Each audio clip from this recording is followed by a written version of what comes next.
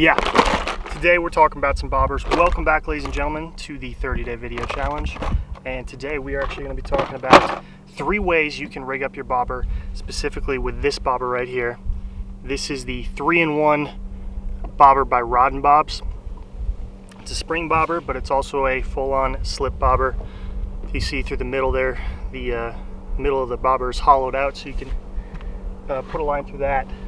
Today I'm going to show you three ways to rig this up with a live minnow. I'm only going to fish one way with it, which is the regular slip bobber setup. Put it through the grommet, through that middle of the bobber there. But there, there are three ways you can rig this. So let's, uh, let's get started. I get these questions a lot about, especially with people that are first time into fishing in general. So I figured I'd do a full-on video talking about the three ways you can do it. All right, so there's two slip styles that you can use. First one is this. These are the uh, rubber bobber stops. There's also these are also used for like a, a, Texas rig or a Carolina rig setup. They're about a dollar for a pack like this. Nine, usually you can find them in like you can find these in Walmart or some sort of uh, sporting goods store for about a buck. The other one is something like this. Most of you guys probably know this. this is like a slip knot style yarn. Uh, works really well. Again, these are probably about a dollar or two. You can find them uh, at your local sporting goods store or Walmart or something. Speaking of that, these new rod and bobs are going to be available. Uh, I think starting at the end of end of September, they're going to be in Walmart. Um, you can also get them online at rodandbobs.com, uh, but check them out. Today, I'm actually going to be using. I'm a fan of these. I'm really a fan of of these uh, rubber bobber stops. People ask, do they get stuck in the reel? Do they get stuck in the eyelets? If you have big eyelets like this on the, uh, the ACC, this is the eight footer that I'm holding here. If you have bigger eyelets like that, you shouldn't have a problem. If you got the micro eyelets, I think either way you go, you're gonna have problems with it. Uh, getting getting caught in the eyelet. A trick when you do hook up with a fish, and I'm gonna show you later today, is when you get to that, that slip, um, instead of just keeping it reeling, because the smallest eyelet is on the rod tip, uh, you actually give it a little bit of a slack and then reel up, and that helps keep that, that little slip stop in its place uh, so you don't actually reel through the slip stop where it actually slides down closer to your bobber and then you got to reset the depth. Um, but we're going to tie this one on first. Ooh. Also, I would recommend a 1000 size or larger reel. Um, some guys use the 500. Sometimes those smaller reels, the both the rubber bobber stops and the yarn stops do get stuck in them. So I recommend at least a thousand size reel. Today I'm using the Piscifun Honor XT 1000 size reel. This is probably probably the most common one that I use uh, for panfish is the 1000 size, either the Honor or the Carbon X or something like that. All right, so here we go. First step is, so these ones have a little wire. They're attached to a little wire here. And there's a little loop. Now I've used it before, so the loop is really small. But there's a little loop, and all you got to do is put the line through that micro loop. I recommend if uh, you got trouble seeing, get like some sort of magnifying lens because that is a small little loop to put them in. And then all you do, so you got the loop, the line sliding through there, just pull that, hold this part, pull that bead to where the line doubles back on itself. And then all you got to do is pull it all the way over that tag end of the line. And it pops on just like that. And there we go, we got our bobber stop. Uh, the yarn ones work. I just, I personally just like these because sometimes the yarn slips a little bit. It can loosen up. These ones I know uh, they're they're going to be stuck wherever I put them. You know, they're they're going to be stuck there on that line. So the next step. So here, here's what I got hooked up. Where is it? This one. This is my regular or the uh, classic slip slip bobber style. Already got this one rigged up. So as you can see through the grommet there, the line is already running through the grommet, through the middle of that grommet. And so it's sliding up and down the line like this. With the three-in-one bobber, there's actually three ways you can rig this. If we're fishing shallow water, let's say in the springtime when these crappie are spawning, I can use, let's see if we can zoom in on that. There's two notches here. Okay, there's two plastic notches on this thing. And that, that top notch, or the one closest to the big part of the bobber, that notch is meant for a fixed position. So all you would have to do, notch, and you're just gonna slide it in there just like that. And then it's locked into place, okay? So if I'm fishing probably, let's say I'm fishing in six feet of water or shallower, I know I'm not gonna put this bobber probably deeper than about four feet. Um, you could probably use the fixed position where it's stuck in place, it's not sliding up and down. That's great for pretty much the springtime. Most of the rest of the season, summer, fall, winter, uh, you're going to be using the slip style. So the second notch here, close that, but see it allows the bobber to slide up and down the line like this. And uh, that's what's really good about these style bobbers. Gives you that option. You can either put it through the middle of the grommet or slide up and down like this. I know people say, well, what happens if I don't want to fish with a bobber anymore so that it's, it's removable. It's still going to slide up and down the line, but it's removable. The next two steps are split shots. And again, these are probably, I think these are about $2, two to three bucks for a pack like this, maybe a little more. Um, these are 16th ounce split shots. Pretty typical, you can find them pretty much anywhere. I'll leave a link to everything in the video description below, don't worry. And then these are Zoneloc hooks. These are Zoneloc Aberdeen hooks, size one. Cool thing about these Zoneloc hooks, they got a little extra bend in the uh, near the tip of the hook, just above the barb, or just below the barb, I should say, where one, it allows the minnow to actually stay on there and it doesn't rub against the barb, tearing that minnow's mouth so you don't lose your minnow. Two, it doesn't tear up the fish's mouth either because the fish's mouth, when you hook it, stays in that little loop right there. So simply tie this on with an I recommend a uh, snell knot to do that. You got your hook like this, okay? You're gonna put your line going away from the tip of the hook, like that, okay? So the line's going away from the tip of the hook. You're gonna pull out probably five inches, five, six inches of line, and you're gonna pinch it against the shaft of the hook like that, okay? Then you're gonna take your tag end here, and you're gonna wrap it around both that line you pinched and the shaft of the hook. Okay? Do it four or five times. And then you're going to take, oops, make sure it stays on the shaft of the hook. Make sure it doesn't go above that hook eyelet. I'm going to pinch it here. Then you take your tag end, you got a little loop here at the bottom of your hook. You can put your tag end through that loop like that. And you're going to pull the line going through the hook back to the rod tip. You're to pull that tight while holding your tag end tight. It's going to kind of cinch up on the shaft. You're going to slide it up to just below the eyelet of the hook like that, and then you're going to pull it tight. And the reason you went the opposite way of the hook to start with is because see how the, the line going back to the rod is now going towards the eyelet of the hook. So when you set the hook, it uses the top of the eyelet as leverage to actually put that hook into the fish's mouth. And that's what we want. And just simply clip off the tag end like so. Some people recommend putting the uh, split shot, you know, six to seven inches above the hook.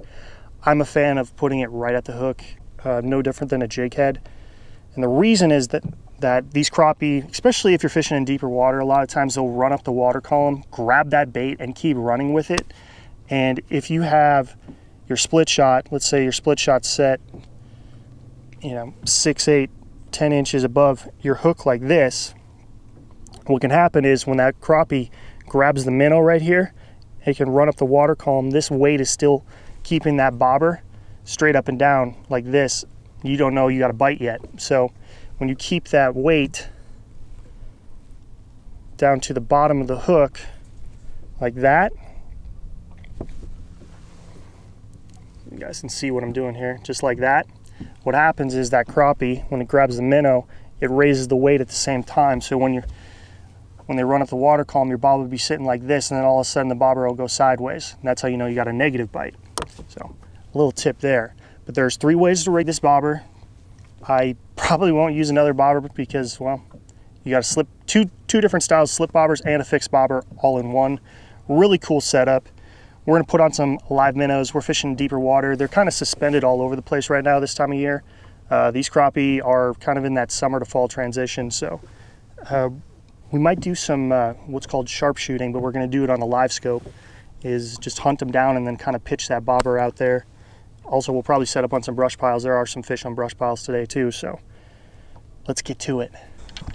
Get this minnow set up. Oh, there's a ton of fish down there. I'm going to show you on the LiveScope in just a second here. like to hook the minnow right below the jaw, but not in through the brain, just just above it. You don't want to kill it. Right. There's a ton of bait fish down there too. So those those are the brush piles stacked up. There's a ton of bait fish above it. There's some crappie tucked in deep. Deep on these brush piles. Alright, there's a bunch of fish right below the boat. We're dropping it straight down. There's some big fish down there too. Those are some bigger fish. I don't think those are, uh, those are definitely not crappie. I'm thinking they're pike or muskie cruising cruising around.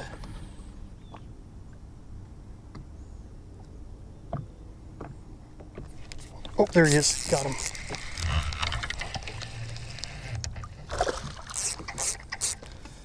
There he is. That was a negative bite. He came running up. I thought I saw him shoot up out of that brush pile. We need minnow now. But I'm I'm at the perfect depth. I'm right probably two feet above that brush pile. So these crappie are going to want to feed up if they're aggressive. And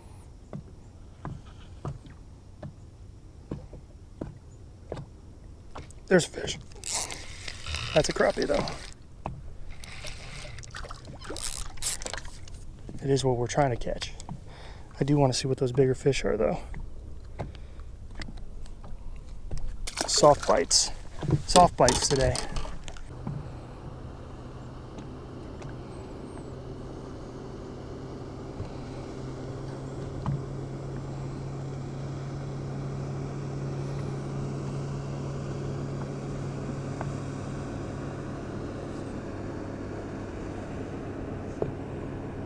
Oh, here we go. Yep. Now the trick, once you get to the, the stop, give it some slack and then reel through it. Because that way, that way that rubber bobber stop doesn't get stuck in that top eyelet. Because that top eyelet is usually the smallest. See how he choked that down? They're, they're shooting right up at it. They're shooting right up at it.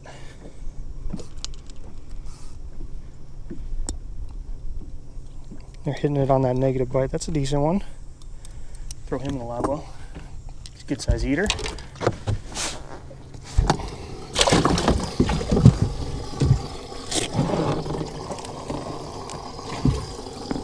Minnow bag. I know some of you guys use like coolers and stuff, but Lindy Minnow Tamer, I think it's like 20 bucks, 15, 20 bucks, something like that. You can easily pick out your minnows without getting your hands super wet especially uh, in colder weather. I know it's not fun. Come October, if you're fishing with minnows, or November, yeah, you don't want to put your hand in inside the live well or inside a, a minnow bucket. Somebody asked in the comments section, actually I was just checking the comments on an older video, what do I prefer to do? Do I prefer to mark a waypoint um, if I see brush piles, or do I prefer to throw out a buoy marker? Now, if you didn't have LiveScope, I highly recommend throwing out a buoy marker something like this. I'll probably do a full-on video of how to set up on these brush piles, but something like this. I think they're like five or six bucks. You can get them at pretty much, you can get them anywhere. Um, but you want to throw it right on top of that brush pile.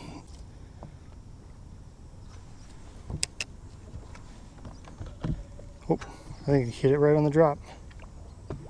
If you don't know, you just simply slowly pull up and if there's pressure, yep, just like that. And once you get to that rubber stop, reel through it, give it some slack. Yeah, they're hitting these things right on the drop. See how deep they're inhaling this? They're shooting up the water column. Look at that, he's choking that thing all the way down. They're just shooting up the water column right now and inhaling these minnows. You probably go, the way they're biting, you definitely could go to jigs if you wanted to at this point. See buddy. We're gonna stick with minnows. Yeah, he's dead. Get a new minnow.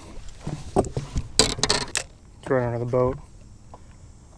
And if your line doesn't go through all the way, oh crap.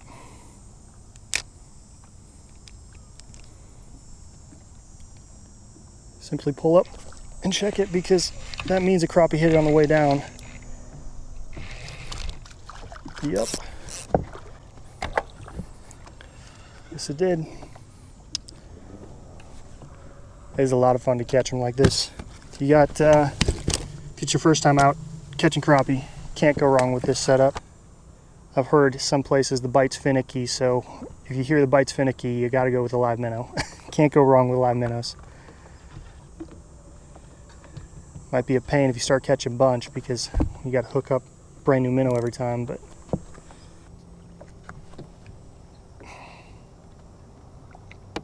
come on. Oh, there he is. Yep, got him. Once you get to that bobber stop, just put some slack in it, reel through it. There he is. That's a decent one. That's a good eater. That's a good size eater right there. Come on, buddy. See how that that hook gets a doesn't get the barb in them so it doesn't tear up their mouth. But I do need pliers because he stuck it good. He stuck it pretty darn good.